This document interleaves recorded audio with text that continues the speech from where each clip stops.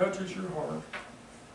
And we just thank you for the opportunity to gather in your presence today, and this morning, and just be with Brother Chad as he brings your message, Lord. If there be any here that needs to make a decision, whatever it may be, we just lift that up to you, Lord, that you will work in each of our hearts.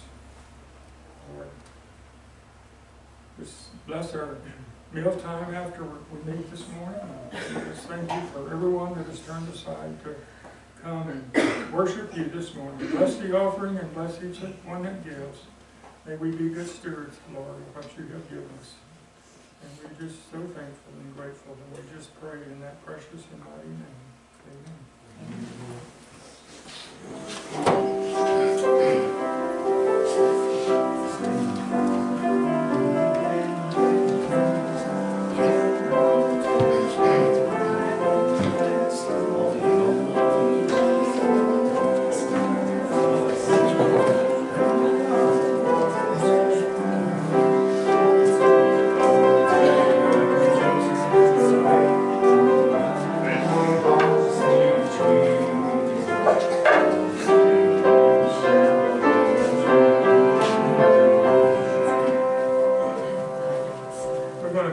774,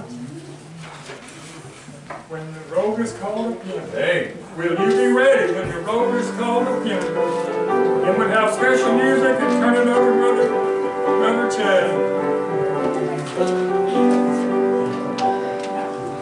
When the trumpet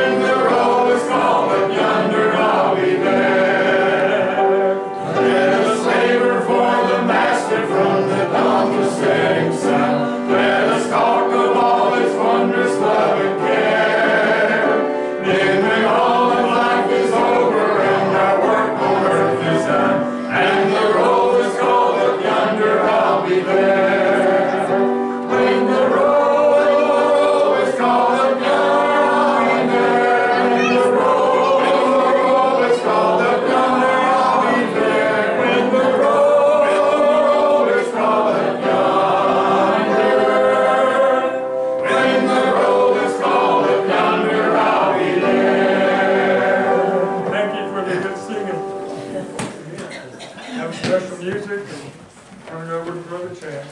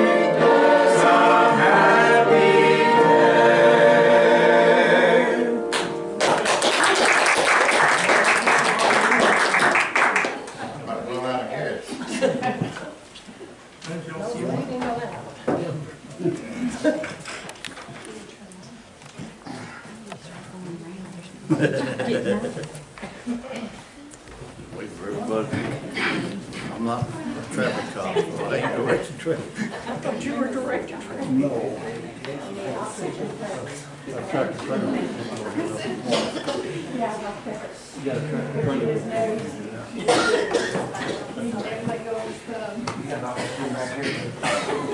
the. So,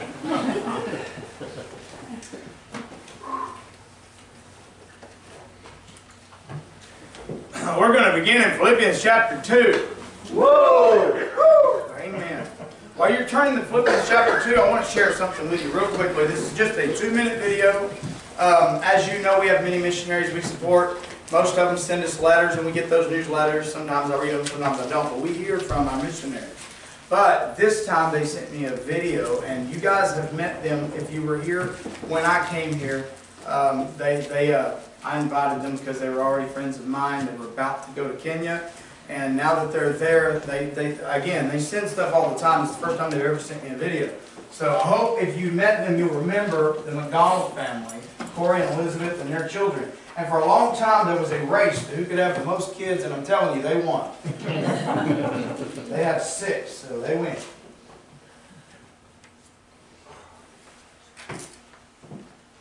couldn't do what we do without you. Uh-oh, Please continue to pray for us. that's not me. That's where they're at, Nairobi, Kenya. Those are giraffes. for.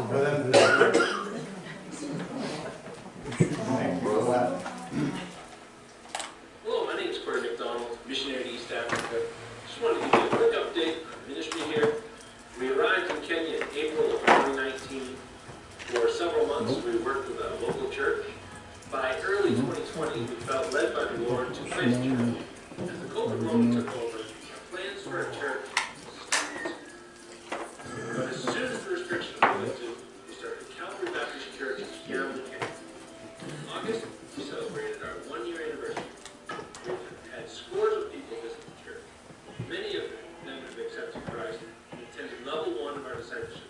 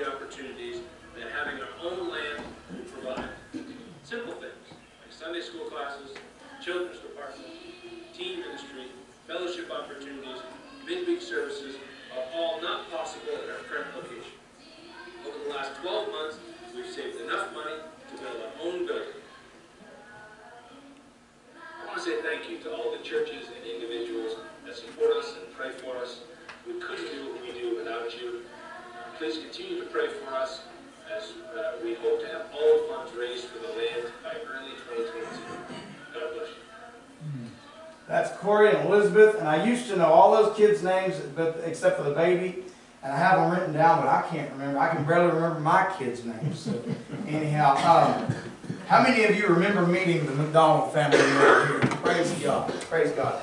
My idea, and, and I'm not picking on people who don't, I'm just saying my idea of a missionary for the Lord is somebody who goes, takes their family, and invests time and energy, sweat, blood, and tears into where they're going. And they have been there since they went there in 19. They've not been back yet. Now, they plan to visit on occasion, but they made they got their citizenship there. That's home. Their kids, the last one was born there. So that's that's a commitment. I thought I made a commitment when I moved to Delhi, Texas, and I did, but nothing to near the same as what they've done, and they're doing it for God. So anyway, I want I want. You have truly blessed us. Well, they've, uh, they've blessed me, so I wanted to share that with you. All right, I gotta get into this. Tim said I have to hurry, because we gotta eat, so. What I'm talking about. All right, we'll, we'll, we'll get after it, okay. Philippians chapter 2 and verse 5, the Bible says, Let this mind be in you, which was also in Christ Jesus, who being in the form of God, thought it not robbery to be equal with God, but made himself of no reputation, took upon him the form of a servant, and was made in the likeness of men, and being found in fashion as a man, he humbled himself, and became obedient unto death, even the death of the cross. Wherefore God also hath highly exalted him, and given him a name which is above every name, that at the name of Jesus every knee should bow, of things in heaven, and things in earth, and things under the earth, and that every tongue should confess that Jesus Christ is Lord, to the glory of God the Father. Let us pray. Amen. Heavenly Father, Lord God, thank you, thank you, thank you for being our God. Thank you for this church. Thank you for those who are faithful to turn aside to be here today to hear your word preached and to praise you and sing praises unto you and to honor you, Lord, with their presence. Lord, we're here to meet with you. We're here to receive from you, Lord. If, if, if you would just open our hearts to receive it and teach us from your word today, Lord, let your message just fill us and strengthen us and guide us as we try to serve you, Lord. And help me today as I try to preach. I need you, Lord. I can't do it without you. In Jesus' name I pray. Amen. Now, if you're wondering why I'm talking louder, my son didn't give me my lapel mic, and the camera got moved back there. When it was here, you could hear it on YouTube. If I don't speak loud and clear, you can try to watch it on YouTube. You can't hear me.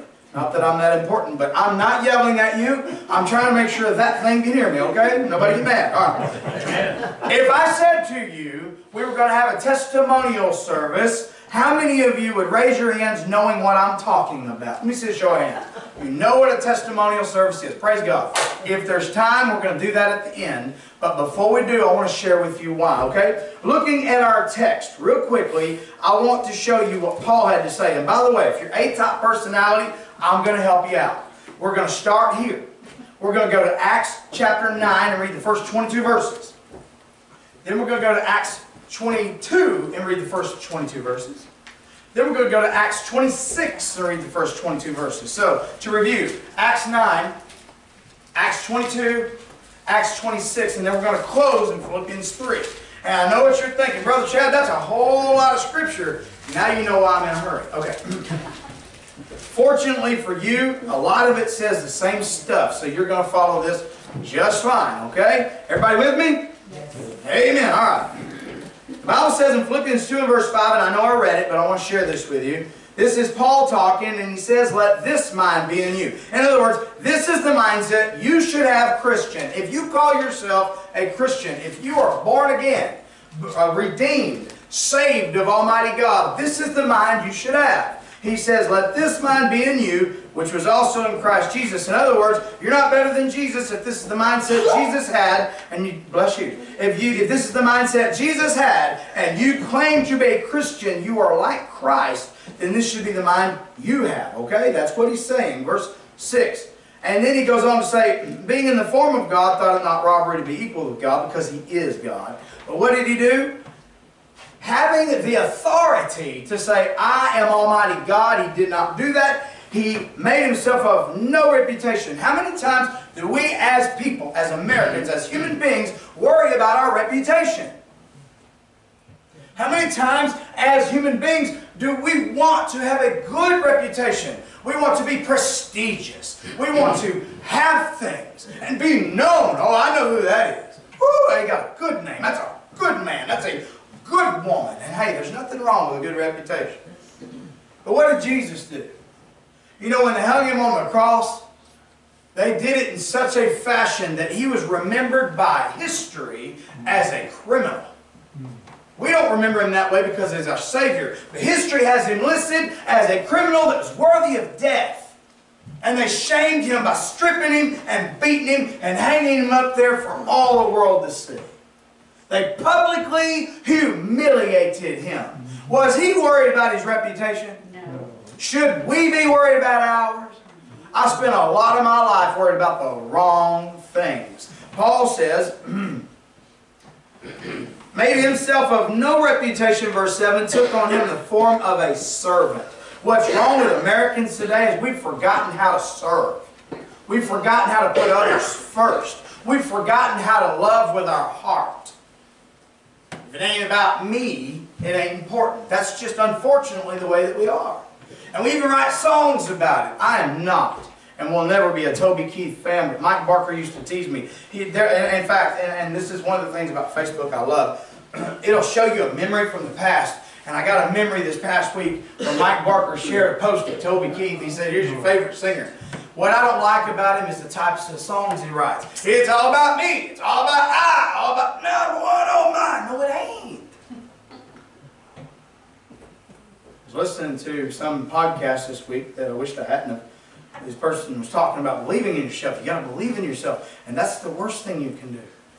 You got to put your faith in God. You have no power in and of yourself. and make yourself like Jesus who made himself like a servant. What I love about this church is I've seen every one of you, one form or another, one time or another, serve somebody beside yourself. Help somebody beside yourself. I didn't bring any food back there. And you guys will still let me go back there and eat. Because you have a heart of service and you care enough about me to make sure I get to eat too, even though I didn't contribute anything. And listen, you don't want me to. I can't cook, okay? Why I got married. I was tired of being too thin, okay? Took upon himself the form of a servant, was made in the likeness of men, and being found in a fashion as a man, he humbled himself. The God of all creation doesn't have to ever humble himself. He can exalt himself and say, I'm God, and you're going to do what I say, but he did it. He humbled himself. Why? Because he loved you, and he loved me, and we were trapped in our sins. And praise God. He humbled himself, and he did it as an example to us.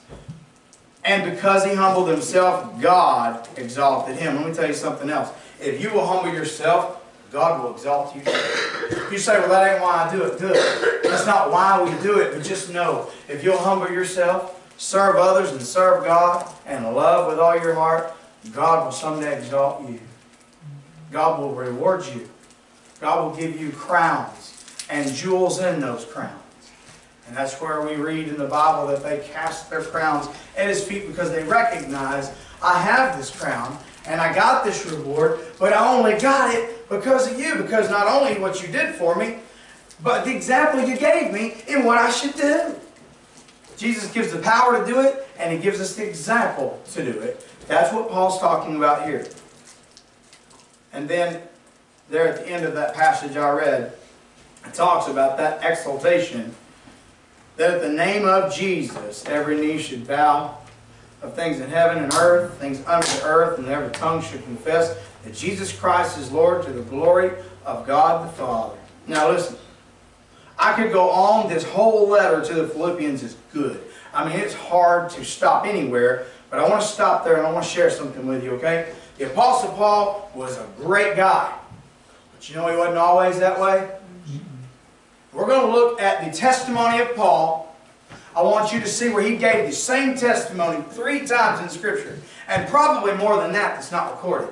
Paul gave his testimony a lot. I've been here in three and a half years, we've never had a testimonial service. When I was growing up, we did it at least once a year. And we're going to try to end with one. But without further ado, turn to Acts chapter 9. Most of you know this, but for maybe somebody here who doesn't, maybe somebody here who's never read it, I want to be very thorough and very clear, okay? The Apostle Paul was born Saul. His name was Saul. Probably named after King Saul. They were both from the tribe of Benjamin. You know how we name people after people today? It's very likely that Saul, that became the Apostle Paul, was named after King Saul. They were both from the tribe of Benjamin. And Benjamin was a very prestigious tribe. Does anybody know why? Because Benjamin was the favorite son when they thought Joseph was dead. The name Benjamin means son of my right hand. When you see B-E-N in, in, in English, typically if you're referencing Hebrew, um, it, it is a reference to a son. But anyway, I, I don't want to get into that at the moment. It's not important. But he was from the tribe of Benjamin. It was a very prestigious tribe that was considered the favorite because of it being Rachel's son. Acts 9 verse 1, the Bible says, And Saul, this is the Apostle Paul before he changed his name, breathing out threatenings and slaughter. Underline that word, slaughter. Y'all know what a slaughter is? Hmm. Means he wasn't just punishing people. He wasn't just killing them. He was slaughtering them. I didn't write it, y'all. Threatenings and slaughter against the disciples of the Lord went unto the high priest and desired of him letters to Damascus to the synagogue. Now, don't miss this. It wasn't enough that they run the church pretty much out of Jerusalem after Jesus died. After Jesus was crucified, the priests and the Sadducees and the Pharisees wanted that Christianity gone. And so they persecuted the church to the point they thought they had them all either locked up, dead, or on the run. And they were. That's why the gospel left Jerusalem. But it wasn't good enough that we got them out of Jerusalem. It wasn't good enough that we got them out of Galilee. It wasn't good enough that we've run them plumb out of Israel. Now we got to go to Syria and get them because I want them all gone. He asked for letters to go to Damascus, Syria. It's not even in Israel. What business does Paul have chasing Christians plumb to Syria? But that's the kind of hate that he had for God's people. That's the kind of hate Satan has for Jesus. Just to get you the perspective we're looking at. Okay? He desired letters to go to Damascus to the synagogues, and if he found any of this way, underline that, this way. This way is talking about Christianity, whether they were men or women. He didn't care. If it was men, women, or children, he wanted them dead, slaughtered. He might bring them bound unto Jerusalem. First, he wanted to make a public mockery of them in Jerusalem. And as he journeyed, he came near Damascus, and suddenly there shined round about him a light from heaven. And he fell to the earth, and he heard a voice saying to him, Saul, Saul, why persecutest thou me? He said, Who art thou, Lord? Let me tell you why he said, Who out there, Lord? He didn't know him.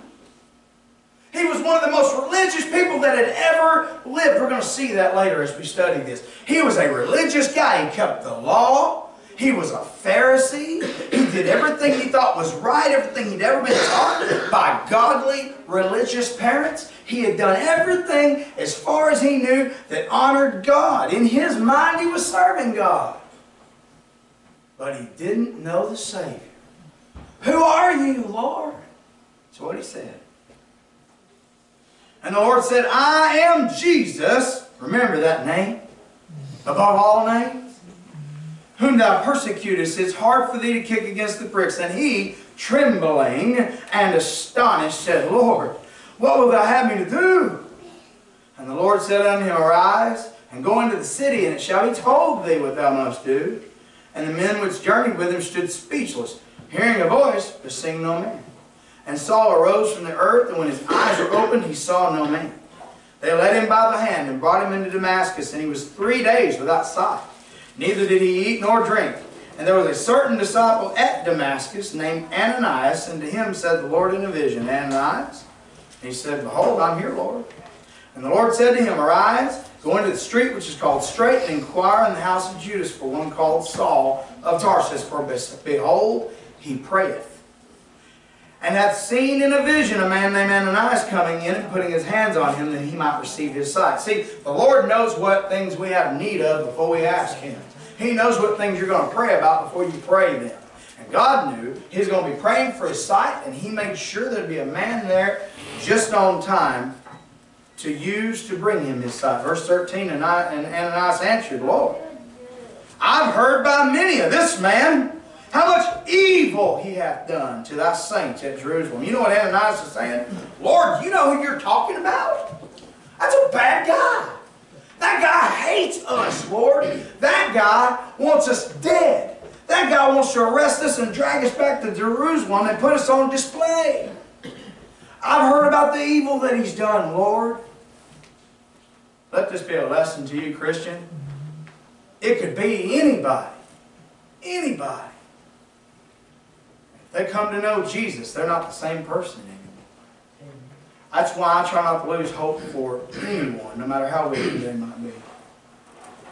And I said, Lord, I've heard of this guy. Verse 14, there he hath authority from the chief priest to bind all that calls on your name.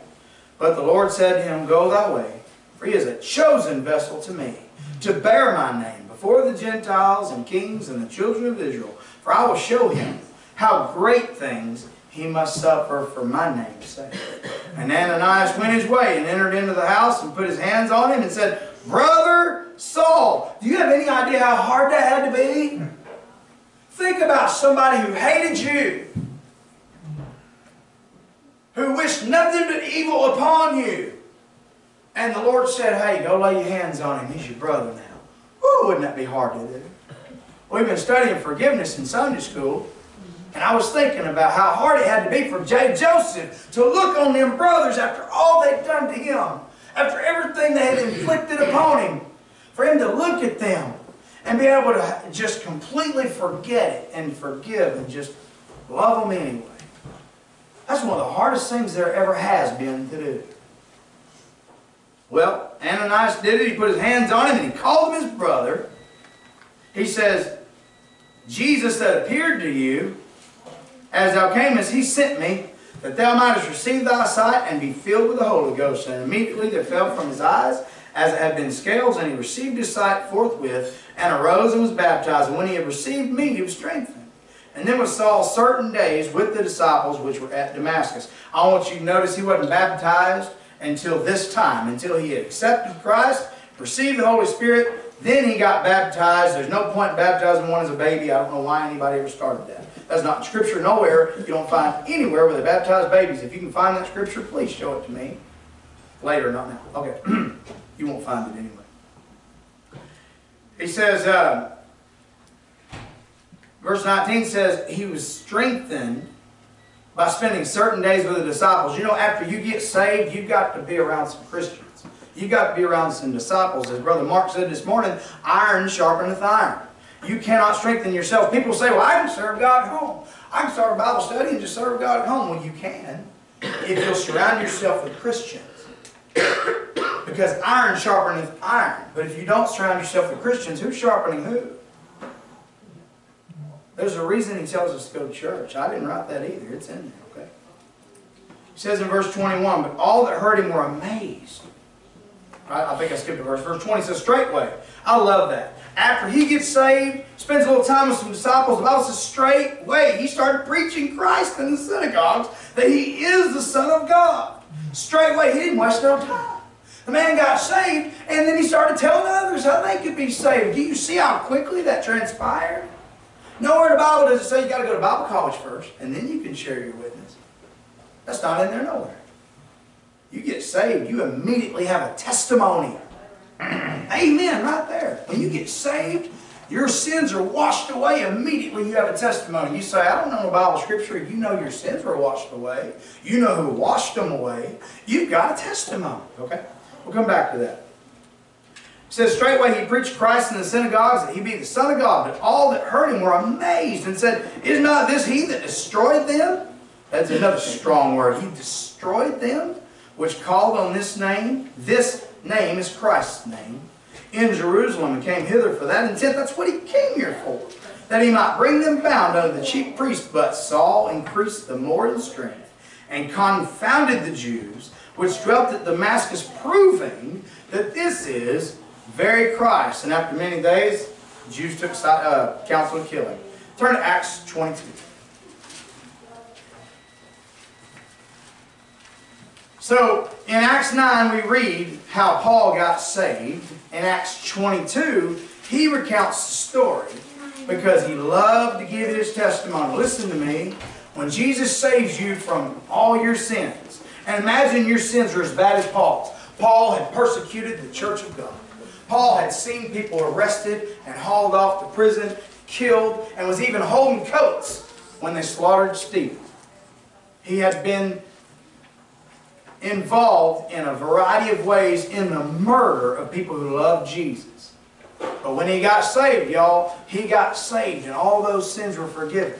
I don't care what you've done. If God can forgive the Apostle Paul, he can forgive you. Acts 22, verse 1. Or actually, I'll start back one verse, chapter 21, verse 40. And when he had given him license, Paul stood on the stairs and beckoned with a hand unto the people. And when there was made a great silence, he spoke unto them in the Hebrew tongue. Now listen, he had just gotten arrested at Jerusalem. We're not going to read it. You can go back and read it. But they were beating him. They were beating him. In fact, when the, uh, when the centurion showed up, the Bible says they left beating of him. They beat on him until the laws got there. That's what happened. It'd be like today if the cops rolled up and you were still whooping on somebody and you only stopped because the cops rolled up. That's what happened according to Acts chapter 21. And I'd love to study that, but for time's sake, we're going to move on. So he says these words, Men and brethren, fathers, hear ye my defense which I make now to you. And when they heard that he spoke in the Hebrew tongue, they kept more silence. And he said, I am a man which am a Jew, born in Tarsus, a city in Cilicia, brought up in this city at the feet of Gamaliel, and taught according to the perfect manner of the law of the fathers, and was zealous toward God as you all are this day. He identifies with them. By the way, when you're witnessing, witnessing to somebody, you've got to be able to identify with them. Why would they listen to you if you don't? You've got to be able to identify with them. You've got to be able to say, I was a sinner too. I was right where you're at. And he tells them, he says, I was just like you guys. I loved God and I was zealous toward God and I was trying to do what I thought was right. Verse 4. And I persecuted this way unto the death, binding and delivering into prisons men and women. Also, high priest doth bear me witness, meaning that guy knows I'm telling the truth. And all the estate of the elders, from whom also I received letters unto the brethren, and went to Damascus, to bring them which were there bound unto Jerusalem, for to be punished. And it came to pass that as I made my journey and was come nigh unto Damascus, about noon suddenly there shone from heaven a great light round about me. And I fell to the ground and heard a voice saying unto me, Saul, Saul, why persecutest thou me? Now some of you are going to say, Chad, why you read this? We just read this. I'll read it quickly, but you need to know he shared his testimony with them. That's what we're supposed to do. He says, And I answered, Who art thou, Lord? And he said, I'm Jesus of Nazareth, and thou persecutest. And they that were with me saw the light and were afraid, but they heard not the voice of him that spoke to me. And I said, What shall I do, Lord? And the Lord said, Arise, go into Damascus, and there it shall be told thee of all things which are appointed for thee to do. And when I could not see for the glory of that light, being led by the hand of them which were with me, I came to Damascus. And one Ananias, a devout man, according to the law, having a good report of all the Jews which dwelt there, came to me, stood, and said to me, Brother Saul, receive thy sight. In the same hour I looked upon him. And he said, The God of our fathers has chosen thee, that thou shouldest know his will, and see that just one, that's Jesus, and shouldest hear the voice of his mouth. For thou shalt be his witness to all men of what thou hast seen and heard. That word witness is important. Pay attention to that. Verse 16. And now why tarriest thou? Arise, be baptized, wash away thy sins, calling on the name of the Lord. And it came to pass that when I was come again to Jerusalem, even while I prayed in the temple, I was in a trance, and, and saw him saying unto me, Make haste, get thee quickly out of Jerusalem, for they will not receive thy testimony concerning me. Now he's talking to Jerusalem when he says that. He says, The Lord told me, get out of here. They're not going to hear me. But I had to tell you my testimony. Let me tell you something. Sometimes when you share your testimony, they're not going to hear it. Okay? You still got to share it. Verse 19 says, And I said, Lord, they know that I imprisoned and beat in every synagogue that they believed on thee. He's arguing with God. God said, get out of there, I'm not going to listen to you. He's arguing with God, but Lord, they know who I am. They're the ones that sent me to Damascus. They remember me. They remember what I did for them. They'll understand. You ever argue with God? Paul did too. I don't believe he was ever supposed to be in Jerusalem, but we're not going to cover that today. He says, verse uh, 20, And when the blood of thy martyr Stephen was shed, I also was standing by, consenting unto his death, and kept the raiment, that means clothes, of them that slew him. And he said unto me, Depart, for I will send thee far hence unto the Gentiles. Jesus told him, Go, and he didn't. now watch this, verse 22. And they gave him audience until this word. What word? Gentiles. That made them mad. They didn't want to hear that. They lifted up their voices and said, Away with such a fellow from the earth. It's not fit that he should live. And they cried out and cast off their clothes and threw dust in the air. They threw a big wall-eyed fit. They were listening to him when he was giving his testimony, but when he mentioned the Gentiles, they said, Kill him! Don't want to hear no more. Acts 26. One more time, Paul gives his testimony. And I would submit to you, he did it all the time. But we're given it three times in Scripture. Now, does that seem redundant to you? Because I believe God had a reason for giving it to us three times in Scripture. Acts 26 and verse 1. Then Agrippa said unto Paul, now just to catch you up, he's been moved to Caesarea. He's still in jail. It's been a couple years. King Agrippa comes because he's curious. He wants to hear what Paul has to say. And Agrippa's not a Jew, but he's king of the Jews. He's actually an Edomite, but he knew the law, okay? They're brothers to the Jews. It says, Thou art permitted to speak for thyself. And anytime Paul was permitted to speak for himself, he would give his testimony, which is an example to you, Christian. He says, Paul stretched forth the hand and answered for himself, says, I think myself happy, King Agrippa, because I shall answer for myself this day before thee, touching all things whereof I'm accused by the Jews, especially because I know you're an expert in all the customs and the questions that are among the Jews, wherefore I beseech thee, hear me patiently. He says, I know you know this stuff.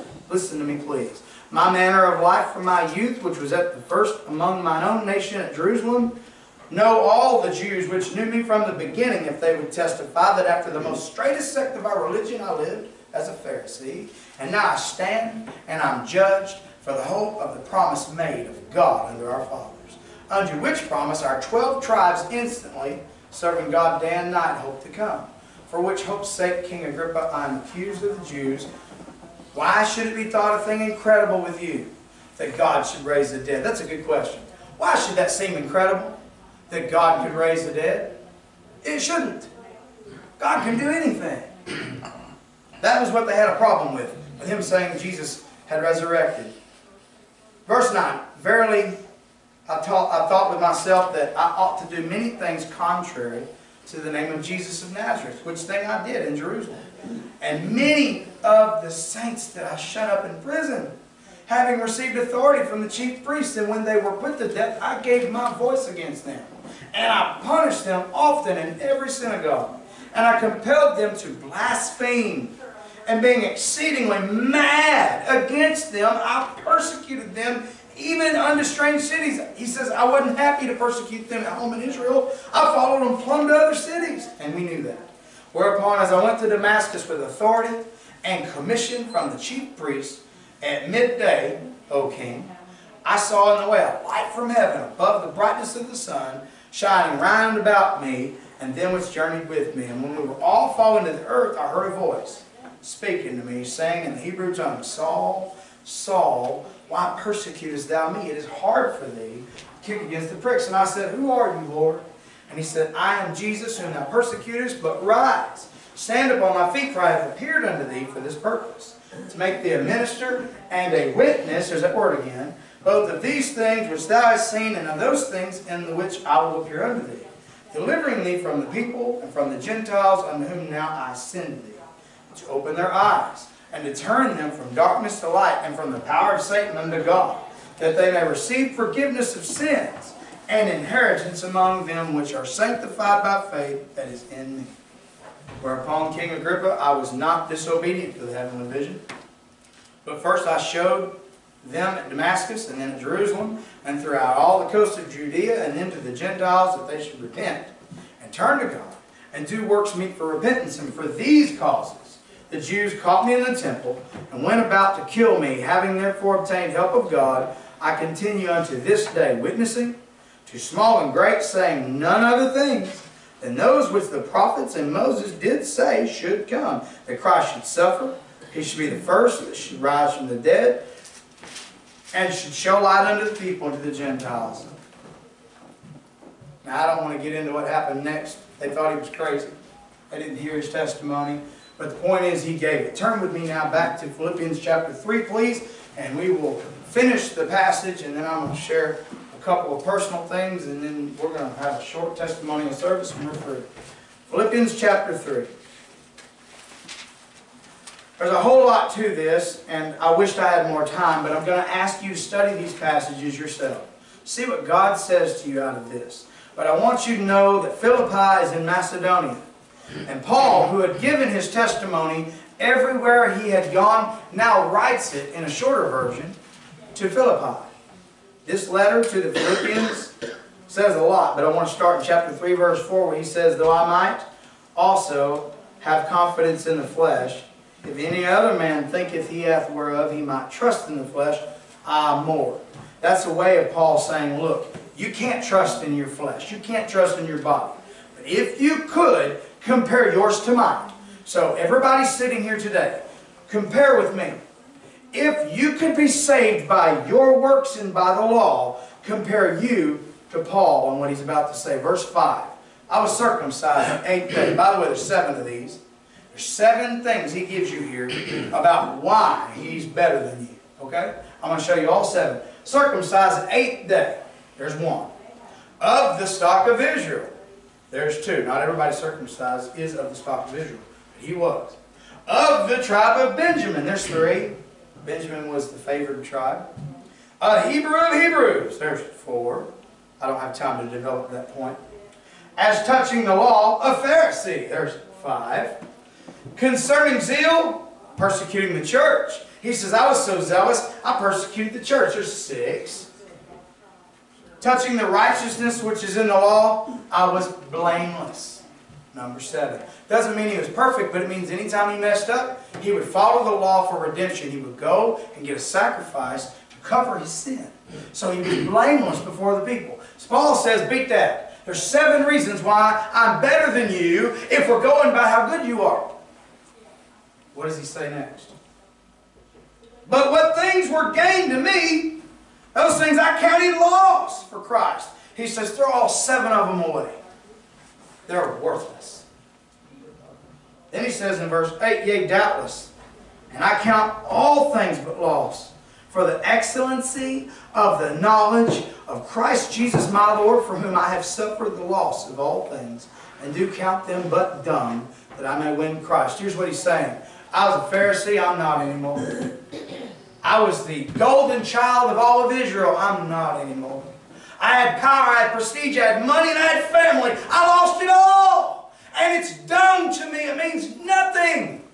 Because Jesus is all that matters. Remember how we started this? Jesus humbled himself. Jesus came as a servant. Jesus showed us that we're supposed to humble ourselves and be willing to serve. And then we're given this testimony, and then Paul tells us that we put too much stock in things that don't matter. And we need to consider them dumb. Verse 9 says, And be found in him, not having mine own righteousness, which is of the law, but that which is through the faith of Christ, the righteousness which is of God by faith. Here's what Paul is saying. You have a testimony. Use it. We're not going to be long, but I want to share mine. I want to give you an opportunity to share yours. And I would to God that everybody here was willing to, but you don't have to. You don't have to say a word, but I want to give you a moment. Let me share with you mine. I was five years old. My parents divorced, and I went to live with my daddy. While I lived with my daddy, I was raped several times. Not by my dad, but by a stepbrother. I was raped several times. I was beaten at one point. He, this boy beat me so bad I broke my left femur. My left leg was broken and I was put in crutches. I was abused in ways I don't even want to describe. I suffered, and I believe now, looking back, the devil was trying to kill me. Because he knew someday God was going to use me for something.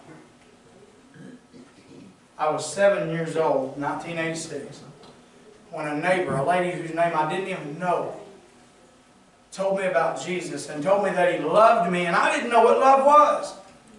I had wondered, I had cried out. I had begged somebody to hear me, but I didn't know who to ask. I didn't know who to talk to. I couldn't go to my daddy, I was scared. This dear lady next door, whose name I don't even know, told me about Jesus. Told me that not only would he save me in a very physical way, more importantly, he would save me spiritually. He would take all my sins away, and you got me thinking, what sins does a seven-year-old have? I guarantee you I had some. I wasn't perfect. I needed saving in every way a person could need saving. I needed my sins washed away, and I needed my situation changed. I needed the Lord, and I had no idea about it. But I knelt down and I cried and I prayed, and I asked Jesus to save me, and He did. It wasn't long after that, the laws found me, put me back with my mama, prosecuted that fella. I don't know where he's at, don't care. Grew me over time, developed me, showed me the Word of God, taught it to me, made me into the man I've become, and has walked with me ever since through everything I've ever been through. And He changed me. I'm nowhere near where I used to be. And the person you see before you today is made out of the same dirt you're made out of, but for the grace of God. I am saved forevermore. Those songs Brother Gary picked about the roll being called up yonder, hey, I'll be there. And if you know you'll be there and you want to share your testimony, I would ask you to stand and do that now. You don't have to, but if somebody's got something they want to say about Jesus, here's your opportunity. Go ahead. Come on, Bob. You already stood? Uh, I was 36 years old, grew up Catholic, the Catholic school, you know, trying to find the answers. Marine Corps, drugs, drinking. I was a bodyguard, bouncer, uh, biker, you know, uh, bodyguard of drug dealers, did all kind of things, and and then guys were hunting me down to kill me. Did you know? All that things went on. So I was just thinking, saying, man, there's got to be an easier way to doing all this stuff. So one day I woke up, put my leathers on, and went to a church from these other people I knew. I said, "Are those people are Jesus freaks?" But I said, "Wow, maybe they might have the answer." Went to the church, walked in, a big old boy preacher, Portuguese fella. He preached Jesus Christ crucified, and I could, and he said that I could be forgiven of all my sins. And so that day, I said, "Wow, and this is free, and I could be forgiven." I said, "Okay, I'm gonna, I'll, I'll do it." So I did it that day. Then from that day, you know, God delivered me of the drugs, the drinking. I, I, I took all the different sized guns I had and I replaced them with Bibles the same size of those guns. so then, because I had to replace the guns with something, so I replaced it with the Word of God. You know, and then my journey began, and I just every time the church was open, I went and, and just kept going and kept going, and and here we are. That was 19, 1994. I was 36 years old. So God's been good ever since. Amen.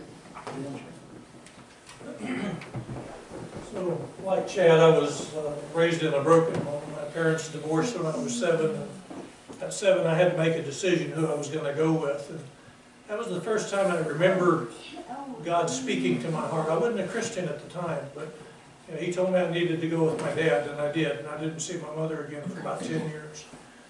But the lady that he ended up marrying was a very mean, hard-hearted woman. And I lived the next eight to ten years with a stepmother that uh, I thought hated my guts. And it was, it- there was no love in the home whatsoever. Uh, When we were four, when I was fourteen, we moved to Surfside, Texas. And the Baptist church there had an RA program, which is called Royal Ambassadors. So I started going to that because they hunted and they fished and they played baseball and basketball. And every time they do that, they'd have an invitation. Well, I'd live with the invitations. I'd put up with that just so I could go hunting and fishing with us. So every invitation, I could feel that same God knocking on the door of my heart. And I just kept pushing him away. You know, it's not, not now. I'm 14 years old. You know, I've got my whole life to live ahead of me. I don't want to do this right now. So that went on for two years, and every time I could, every time there's an invitation at the end of a campfire service or a hunting trip or a baseball game, I could feel my Creator knocking on the door of my heart. When I was 16, we were going to move away from there. And the church gave us, gave me a going away party, and it was a surprise. I had no idea this was going to happen.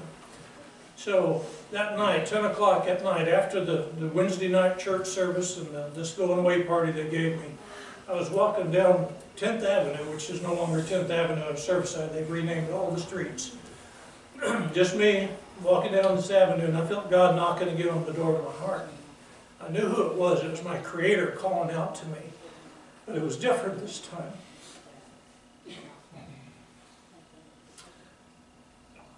I felt like if I didn't respond this time, I'd not get another chance. And that's something we all need to be aware of. God's not going to knock on the door of your heart forever. The door is always open. There's going to come a point in your time when you've hardened your heart so much that you will not open your heart to God. So I asked him into my heart in between 10th and 11th Street on Surfside. And for the next two weeks, I don't think my feet ever touched the ground. Hey. You know, the first time in my life, I felt loved, I felt complete, I felt whole. I was who God intended me to be. And now, 45 years later, this is 1973. I was baptized out in the Gulf of Mexico in December and about froze to death. Um, You know, 40 some odd years later, and when times get hard and they get tough, I remember that two-week honeymoon I had with my God. And I look forward to the day when I'll be able to do that with him for eternity. Amen. Anyone else want to share this? All righty, so, pretty new here. Uh, Thanks to Brother Mark and Sister Jan. Sit back here, it's kind of, really helped me out along several of y'all. Yeah, I say y'all. Uh, Well, kind of like Mark, I used to be pretty wild. I mean, I was a fighter from the word go from, I think, what, uh, five to thirteen, or five to eighteen, I did karate, compete all around the country, world. I was very good at it. And I took that ego with me out on the road, out on the streets. And, know, before we moved down here, the same, I mean, I used to ride with Hells Angels. I rode with several motorcycle groups and I was a member, just having fun, raising ten ton of hell. I mean, that's what we raised. I mean, drinking, drugs, hundred mile an hour down the road with a whiskey bottle in your pocket, drinking it as you go, smoking joints. All kinds of fun at the time. Uh, till one day I kind of realized, you know, it wasn't as much fun as I thought it was. When I woke up, bike still sitting in the living room of my house, my apartment at the time.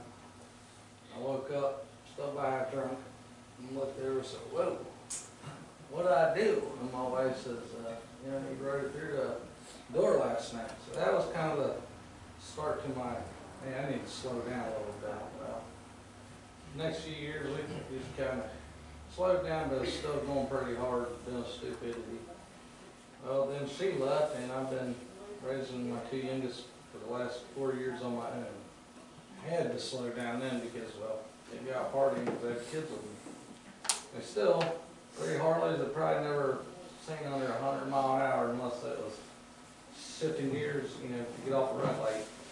Uh, flying down through the roads, drinking beers, having fun, you know, raising hell with my buddies. Still doing wild, but not as wild stuff. Some stuff happened, I met a woman, and, uh, long story short, I ended up in Texas, in the great state of Kentucky. We moved down here and, uh, oh, I hated it for the first few weeks because I knew nobody and it's, it's pretty dang different down here. And I was still smoking joints and drinking bourbon and having good times still as I was here. Well, I just walked in this little leather shop one day and, uh, met these two fine folks. Was Dan and Mr. Mark, and then Mark's kinda, you know, he- he's a Yankee, but. Yeah, I was heard that song, Damn Yankees, Damn Yankees, out here, you know, I looked up to one. And, uh, yeah, Brother Mark here and Miss Jan has been really like our only family until we met all y'all down here, and, uh, our lives have really done a three sixty over the past couple months, well, I've been here six, almost seven months, so it's been a culture shock, Eh, it's been a shock at every level, but, uh, you know, for this old farming kid from Kentucky, raising hell, fighting, drinking, having a good old time, to come down here to Texas, to not know anybody, to start meeting good people, to get, kind of keep me away from all that stuff, and, uh, honestly, I feel better in my life than I ever have, and I'll be, uh, thirty-nine this year. So, uh, it's been a real neat journey with you guys that has welcomed me in my two, in your church and lives, and, uh, we appreciate it, and I couldn't have done any of that throughout. God, you know, telling me, as I passed by here a couple times, stop, you know, we went to another church, something kept us busy every Sunday. Some would come in where we couldn't go, but then we came here and nothing else came up. Every Sunday has been free and clear, we've been here, and, uh, we really feel at home, I love it. You got saved? I got saved right there on that, that bench there, and, Amen. uh, and, uh, we love it here, and I can't wait till, uh, I'm gonna break the barrier and get baptized here and with y'all, and I think it'll be a pretty good thing, and, you know, trying to drag these two with me. Cause, uh, and they need it, especially this time of life, I mean, it- it's, this generation is wild, nuts. And, uh, these kids, all of these kids in this world need God badly. and they need more people to step forward and, and help us. So I like to thank y'all for helping me, and help y'all, and that's it. Tim, I'm not gonna make your stomach growl long. My story's somewhat different than these. My trials and tribulations didn't come when I was young. I grew up, thank goodness, in a Christian family. Generations of. I was saved and baptized when I was nine years old, First Baptist Church in Seguin, Texas. I didn't, I, I led for the time a pretty normal teenage years. I ran around and drank, not to excess, but there was always something, and this was after I'd been saved. There was always something in there, you ain't supposed to be doing this, you're not supposed to be doing this. And there was instilled in me the biggest thing, and I wondered when I became a father, how do I make my kids think this? The biggest deterrent was I didn't want to embarrass my parents. I've done things I'm not proud of, like we all have, but the whole time, I mean, I've been a Christian. I've drifted away. I didn't take my kids to church like I was taking. And I feel guilty about that. I'm trying to make up for it now. But I've always felt like, and I still today, and Chad and I've talked about, it, I'm supposed to be doing something. There's something I'm supposed to be doing. And I'm still searching for that, so I'd ask for your prayers that that be revealed to me. Mm-hmm. I've been given a gift, and my wife sometimes says it's not a gift, but I can talk. And that makes me think that that's got something to do with what I'm supposed to be doing. But thank God for Christian prayers. And I reference, did it today, this is my mother's Bible, one of many. And we'll go through these lessons, and Chad will ask for a question about something, and lo and behold, my oh my, it's written in the sides in Mother's Bible. Uh, I think that's, that's not by accident. No. We found a home here. I wish I'd get my kids to come here, and I'm working on that. But God's got a plan. And if you'll seek it, He'll show you. I know there's food back there. I know y'all are hungry. I don't want to keep you a long time, but I want to say this is important. If you've got a testimony you want to share, I'll make the time if you will. If not, I understand. Is there anybody? I'm back to one. Gary, go ahead. Okay. I've been a member of this church all my life. And my sister and I were blessed that my mother came to, after we were gone, she came to know the Lord. And she was so faithful. We came to church every, everywhere we went. If we went some, well, we went to San Antonio a lot because my grandparents lived there. We had to go to Sunday school. And I was at some, I was at some church there, and those kids were so, they were so mean to me. I mean, as a kid, I just didn't know why they were, you know. But we went, I mean, we, I, we, you remember that church there on South Crescent? Church, I remember. but, uh, yes, my mother came to know the Lord. We just, we didn't miss Sunday school. Wherever we were, we had to go to Sunday school. And, um, I remember when our church burnt and watched it burn to the ground. It was just, you know, we just, sort of, as a, but the Lord helped us. We rebuilt this building. And I see as the days go by that we're getting too big for this building. I'm hoping, hoping that someday the Lord allows to build a new building between the sparshes this year. Hopefully it'll be needed. But the most important thing, I met my wife here. And she's been such a blessing to my life. And her family. And uh, I'm so blessed to see our church family growing, the Lord is working here. And uh, we just still want to be able to serve Him here and, and hopefully we'll have the freedom to do that. We don't know what, what the future may bring, but we all need to realize the way to get to heaven is through Him. We have to accept Him as our Savior and Lord. I'm not gonna stand up.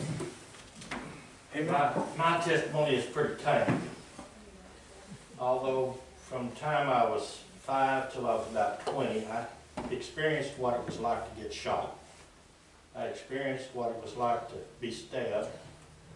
And, uh, I've had wrecks that left scars all over me. And Brother Nick Goodnight was a pastor here in the old church.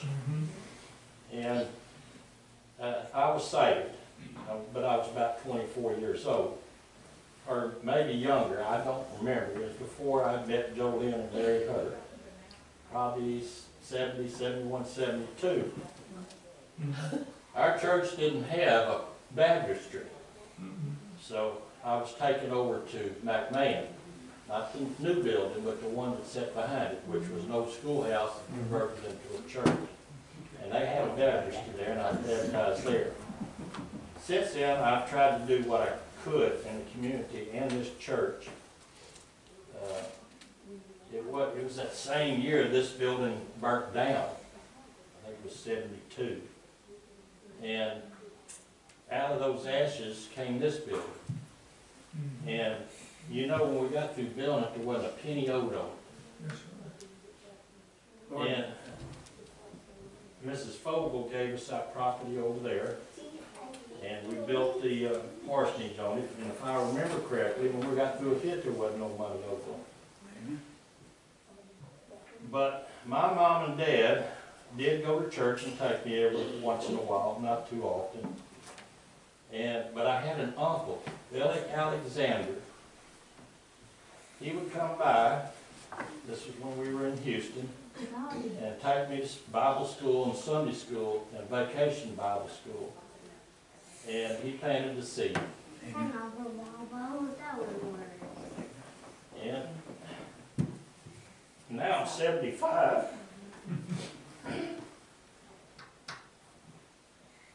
I don't get around as good as I would like. But I, uh, I love this church, not necessarily the building, I look forward to when we build a church that's even bigger. God bless all of y'all. And that's kind of my story. I did meet Jo Lynn, she was from down in String Perry. Uh, and we married in 72, 50-something years ago. And I always kidded her mom that I stole her off her mom's lap.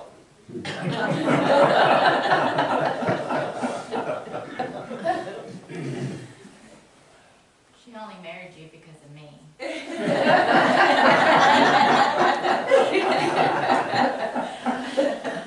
Yeah, I'm, I'm thankful, very thankful. We have a to be thankful for. Anybody? Yes, I want to say something. I'm not going to give my testimony so much, except I just want to tell you something. This is better than that food out there. Thank you. Thank you, everybody. This is our food for the soul. Anyone? My testimony is that I know that God has always had a plan for me. I can see it. Because my biological mother gave me to my dad raise.